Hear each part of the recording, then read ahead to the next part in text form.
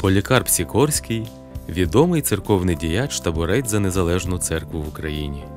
Близько 10 років він був митрополитом Луцьким. У Жидичині, поблизу Луцька, товариство Петра Могили перекладало святе письмо українською. Полікарп Сікорський керував цим важливим процесом. Тут, у палаці митрополитів, для нього облаштували літню резиденцію. Місцеві згадують, що жидичинці влаштовували полікарпу пишні зустрічі з оркестром та квітами.